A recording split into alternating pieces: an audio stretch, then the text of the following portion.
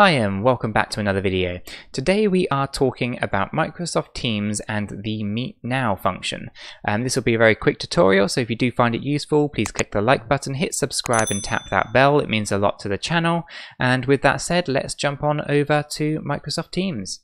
Okay, so here we are within my um, standard um, supply chain team general tab. Um, and from here there's a hidden function that you may not have known about and it's called meet now.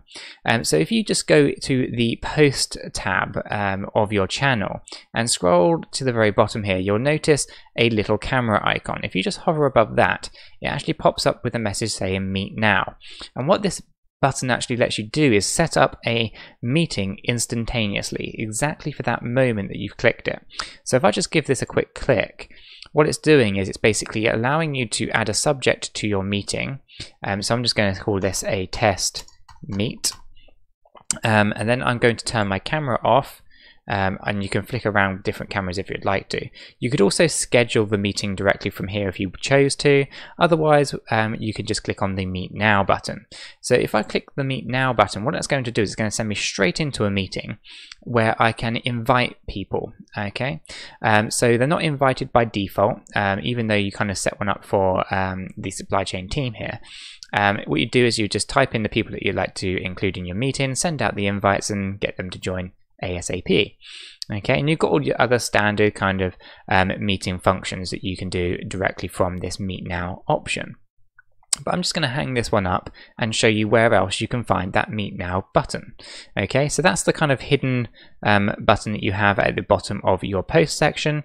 But if you head over to your calendar on the left hand side navigation, you'll also notice that there's a Meet Now button in the top right hand corner.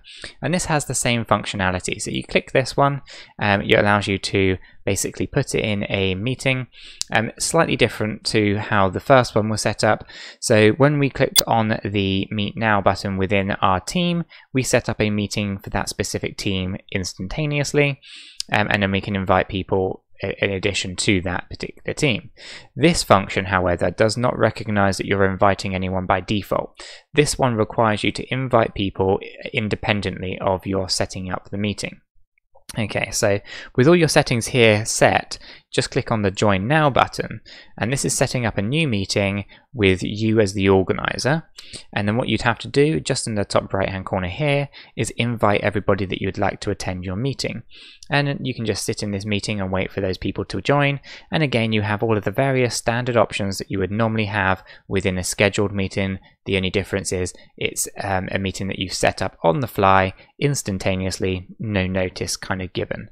Okay, um, and I can just hang this meeting up and then that will take me straight over to the meeting notes section um, again where you'd have any particular chats that were happening in that meeting any files that were shared any meeting notes and the whiteboard function um, if you used it within the video chat.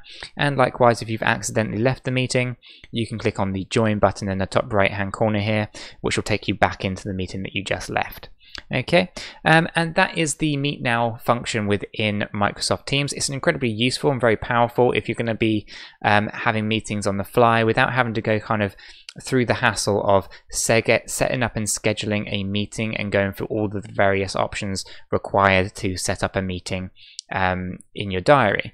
This this function basically lets you um, create that meeting very quickly, get people in, discuss what needs to be discussed, and then get out. Okay. Um, if you found this useful, please click the like button, hit subscribe, and tap the bell. It means a lot to the channel, and I will catch you guys in the next video.